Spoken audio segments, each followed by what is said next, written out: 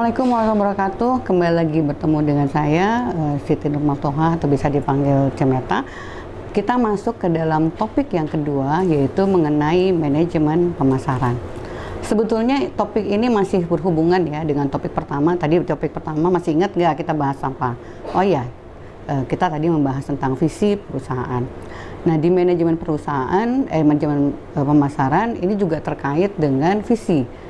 Uh, pada saat kita bicara strategi pemasaran, apa sih yang dimaksud? Jadi strategi pemasaran itu adalah berbagai cara yang dilakukan dengan kemampuan yang dimiliki oleh kita, oleh teman-teman semua untuk merencanakan produk.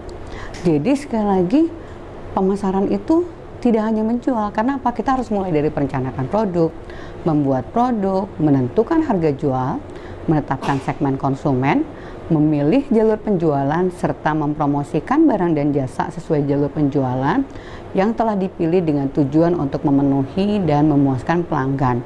Kalau jadi kalau waktu itu atau misalnya saat ini teman-teman yang masih berpikir bahwa strategi pemasaran itu hanya menjual, ternyata tidak ya. Jadi mulai dari perencanaan dan tentunya tadi eh, kita juga harus menetapkan visi misi dari bisnis itu sendiri. Nah, pada saat kita bicara strategi, kenapa sih perlu dilakukan? Yang pertama adalah supaya pelanggan itu mengetahui apa sih keunggulan produk e, kita. Produk ini bisa dua ya, bisa barang atau jasa. Kemudian yang kedua, pelanggan mengetahui dan memahami dengan jelas mengenai produk atau jasa yang kita tawarkan dan juga pelanggan menerima produk dan jasa kita dengan baik. Jadi kita jangan kemudian percaya diri oh produk saya paling bagus nih tapi ternyata konsumennya tidak suka gitu. Karena pada saat kita bicara uh, bisnis tentunya tadi ada kebutuhan yang uh, kita berikan kepada konsumen dan konsumen juga memilih kita karena dia um, apa kebutuhannya sudah ada di uh, kita seperti itu. Sehingga kita harus memastikan bahwa produk atau jasa kita dibutuhkan oleh konsumen dan layak jual contoh nih sedikit misalnya. Tentunya teman-teman kalau mau beli produk uh, kan kita sudah mengeluarkan sejumlah uang ya. Kalau ternyata produk itu tidak sesuai kecewa atau tidak? Umumnya kecewa ya. Misalnya nih teman-teman sudah pengen beli satu makanan lihat gambarnya bagus menarik. Begitu kita rasa oh ternyata puntennya rasanya teka kalir teka kidul misalnya.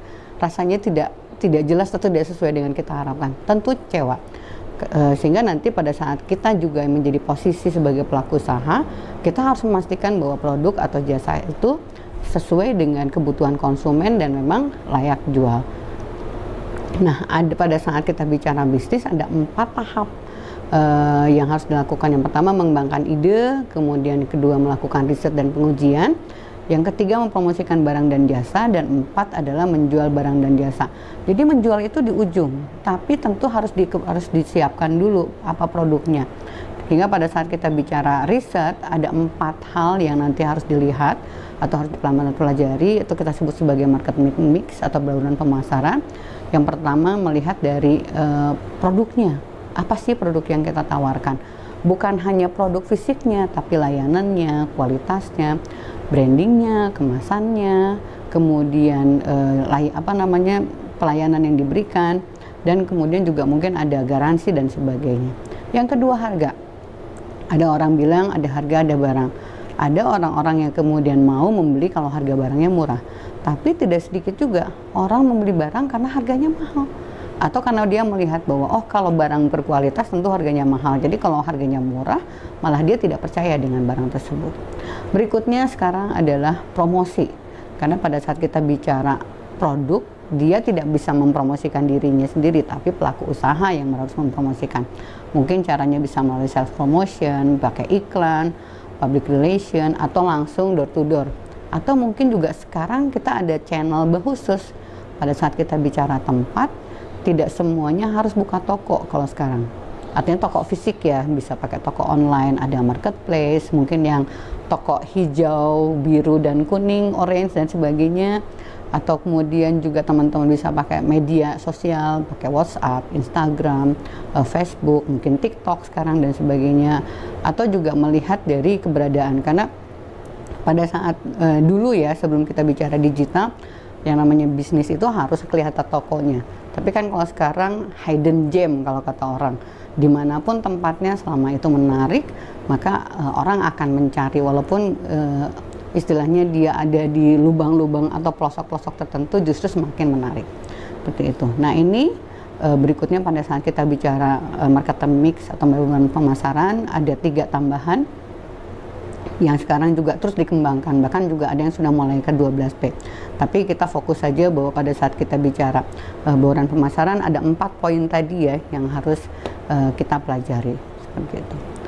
Berikutnya nah selain kita bicara market kita juga harus tahu kok siapa sih konsumen yang mau beli produk kita? Atau kita tuh mau menawarkan produk itu kepada siapa uh, nah itu nanti kita harus lihat di sisi demografinya Eh, kemudian psikografi, kebiasaan atau behavior, dan geografi. Misalnya kalau penduduk yang tinggal di pegunungan mungkin uh, kesukaannya berbeda atau kebutuhannya berbeda dengan yang di pantai. Atau misalnya yang di kota berbeda dengan di desa. Anak kecil beda dengan dewasa kemudian juga remaja apalagi milenial juga sama. Nah ini yang harus kita perhatikan. Jadi kita tidak bisa mengatakan bahwa produk saya bisa dibeli oleh orang banyak. Tidak. Karena tentunya kebutuhan setiap orang itu berbeda.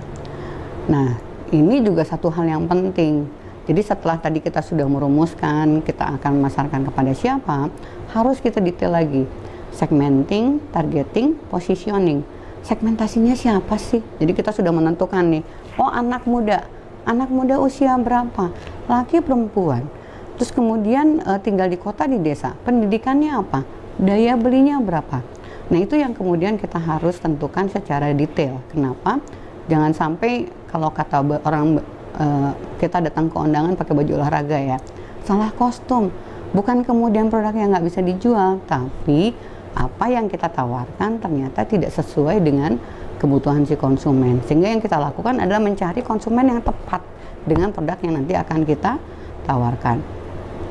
Berikutnya, unique selling point atau USP jadi produk juga harus unik. Apa sih yang akan kita tawarkan yang berbeda dari yang lain? Contoh sekarang, semua orang jual keripik. Jadi terbayang kalau misalnya teman-teman masuk satu berada di satu daerah, semuanya tukang opak. Nggak mungkin kita e, menjual opak kepada tukang opak. Tapi kita harus memasarkan opak itu kepada orang yang tidak membuat opak. Tapi opak yang seperti apa? yang ukurannya besar, yang ukurannya kecil, yang dilapis atau kasih topping apa, segmentasi pasarnya siapa, contoh anak muda senang yang pedas, begitu ditawarkan ke lansia, makanan itu tidak cocok. Tapi kalau misalnya sekarang makanan-makanan yang rasanya original, kita pasarkan kepada anak-anak muda, mungkin juga tidak tepat, karena apa? Kesukaannya berbeda.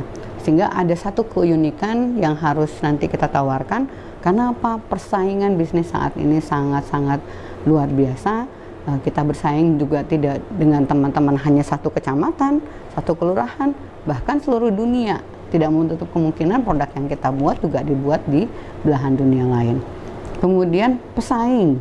Nah, ini juga harus kita perhatikan siapa pesaing kita, apakah dia sudah jualan jalan duluan atau malah kita yang belakangan atau malah kita jualan duluan orang itu belakangan dan berapa persen uh, pasar yang akan uh, kita penuhi. Ini juga penting kemudian apa yang diinginkan masyarakat juga penting. Jadi banyak hal sebetulnya pada saat kita bicara pasar, tapi intinya tadi bahwa kita sudah menentukan dulu. Dan satu hal mungkin ini nanti ada beberapa uh, slide yang uh, akan terhubung dengan tugas uh, materi-materi berikutnya. Di antaranya adalah bahwa pada saat kita bicara uh, produk, tentunya ada masalah dan ada kebutuhan kita sebagai pelaku usaha akan nanti berhubungan dengan masyarakat. Nah, masyarakat tadi membutuhkan sesuatu. Jadi sekarang orientasinya tidak berdasarkan apa kata saya, tapi apa kata konsumen. Konsumen butuh apa?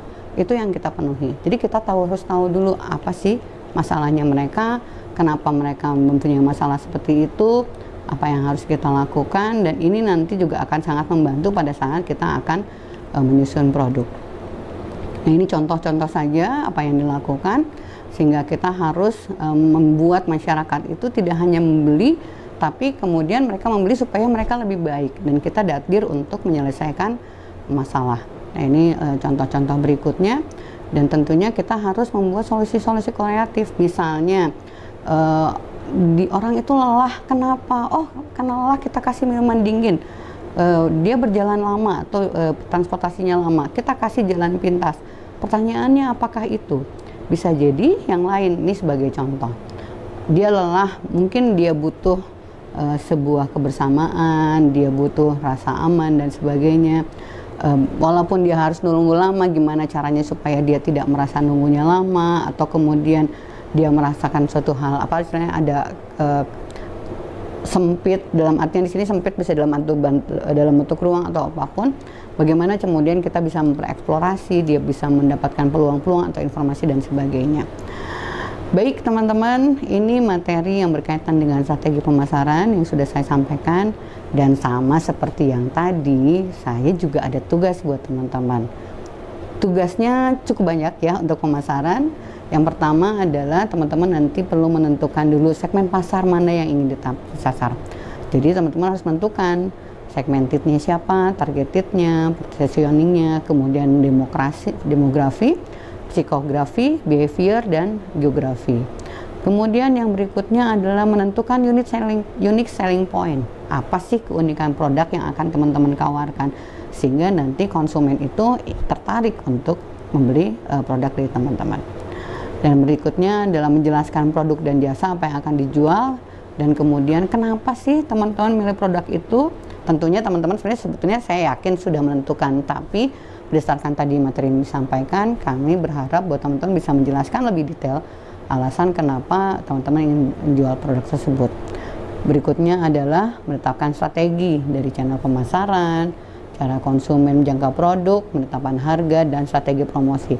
Karena ini akan sangat penting uh, supaya teman-teman bisa mengisi uh, materi apa eh, tugas-tugas uh, di sesi kita yang terakhir. Baiklah, uh, demikian untuk topik yang kedua. Uh, tetap semangat ya, karena masih ada dua topik lagi yang akan kita bahas. Sampai ketemu. Assalamualaikum warahmatullahi wabarakatuh.